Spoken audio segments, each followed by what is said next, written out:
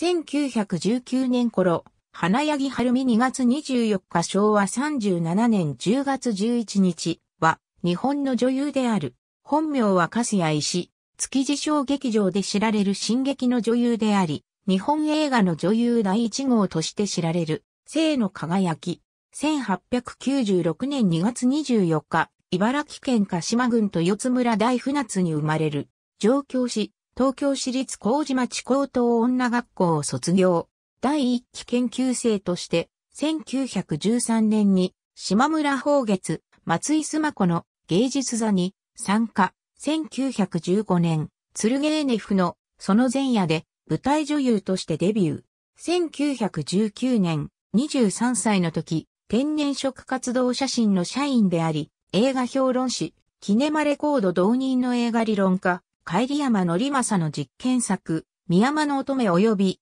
生の輝きに、村田実、青山杉作、近藤伊予吉といった進撃の劇団、登録者の主要メンバーと共に参加、主演に抜擢される。両作は、同年9月13日に同日公開された。悲惨は、第3作、白菊物語から映画芸術協会を名乗り、日本最初の芸術映画プロダクションとして活動を開始。従来の映画界の歌舞伎同様のお山を廃し、女優を初めてスクリーンに映し出したことで、これらの既産作品は歴史に名を残すこととなる。映画女優としては既産監督作3本に主演、1920年に村田が根津新と共に移籍していた松竹蒲田撮影所で、1921年、村田の映画監督転校第4作、奉仕のバラに主演、同作は同年7月21日に公開される。また同年、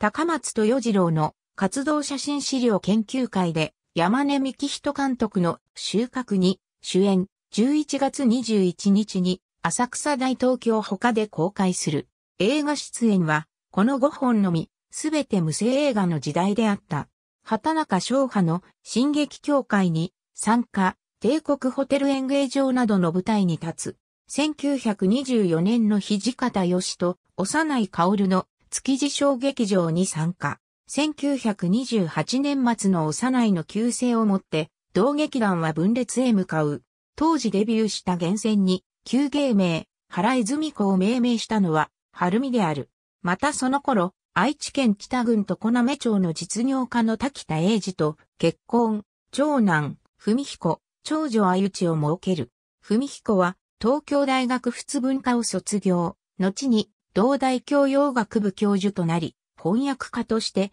ボリス・ビアンやレーモン・クノーの翻訳で知られ、あゆちは、東京大学法学部を卒業、日本航空に入社、日本のキャリアウーマンの先駆的な存在となった。1962年10月11日、死去、満66歳没。春美が嫁いだ家は、2000年に市の指定文化財となり、海鮮問屋滝田屋として復元、有料公開されている。ありがとうございます。